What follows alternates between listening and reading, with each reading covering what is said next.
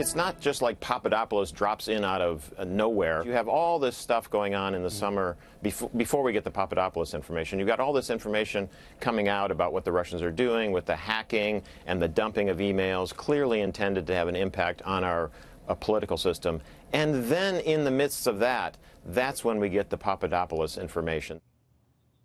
Now, that from former general counsel of the FBI, Jim Baker about our next guest. George, George Stephanopoulos says that uh, Papadopoulos, I just got you in the Stephanopoulos. That would have been a fun story.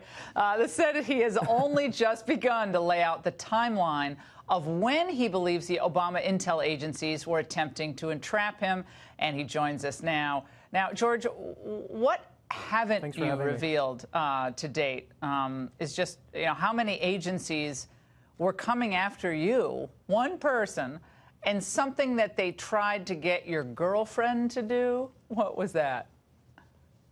Oh my God. Um, thanks a lot for having me, Laura. So, besides um, the FBI trying to um, have my then girlfriend, now wife, actually wear a wire to try and uh, entrap me herself, um, which was completely crazy.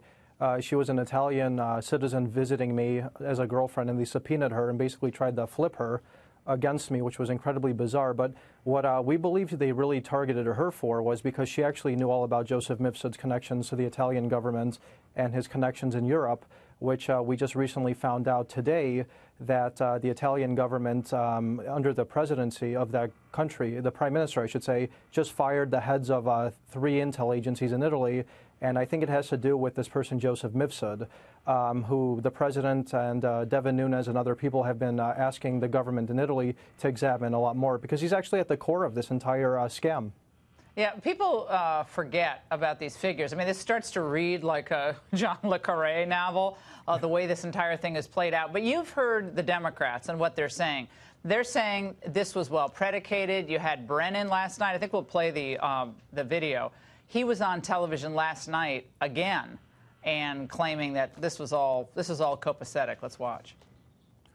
I do believe it's important that there be an understanding about just how strongly predicated that investigation was. I was there in the summer of 16, and it was very well predicated. Well predicated, George? Um, I want to make it very clear that um, by the time that I joined the Trump campaign, before my name was even public, uh, an FBI intermediary named Arvinder Sambei at a company I used to work for in London introduced me to this person, Joseph Mifsud, at a company, at a school, I should say, called Link Campus, which the CIA and the FBI trains at.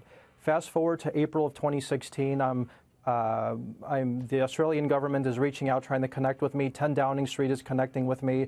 And then, of course, which I find very suspicious, is that the DIA reached out to me at the U.S. Embassy in London. These two individuals named Gregory Baker and Terrence Dudley, just days before this infamous meeting I had with Alexander Downer, who uh, I've testified under oath and I've uh, reported both to the FBI and Bob Mueller that I felt that he was uh, spying on me. And something I want to you know make clear about this uh, meeting with Downer um, I don't think I was just suspicious that he was spying on me because um, in my transcripts uh, to Congress, you see people like Mark Meadows and John Ratcliffe asking me if I ever was presented with transcripts of any meetings I had with Alexander Downer, mm. Joseph Mifsud, or any of these strange people that were running into me, and I said no. So I think Congress probably has transcripts. They probably already know, and the president already knows that these ah. people were spying, and it's going to be a big bombshell moving forward. Ooh this is good. It's going to be right, great. George. All right, George. Now you've gotten me really interested in this. Okay, I love the transcripts tidbit. Thank you so much.